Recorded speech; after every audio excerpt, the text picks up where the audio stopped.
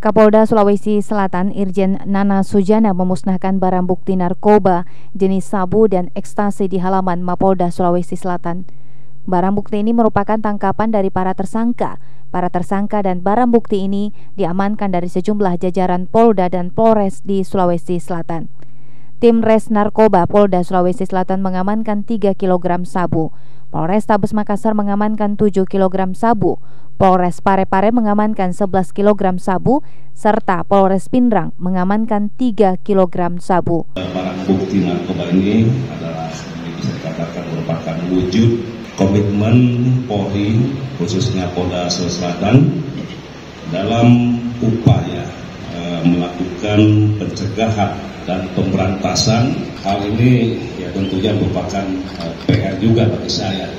Selaku Kapolda dan kita memang merasakan bahwa terkait dengan masalah penyalahgunaan dan peredaran gelap narkoba ini tentunya menjadi ancaman serius khususnya bagi generasi muda ataupun uh, yang dapat merusak generasi muda dan anak bangsa khususnya di Sulawesi Selatan ini.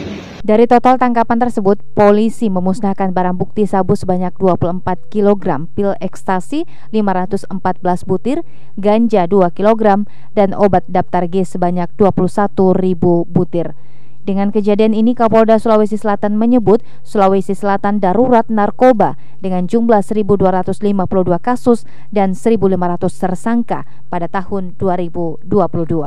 Ilham Syam, Pajar TV, dan Pajar Radio melaporkan.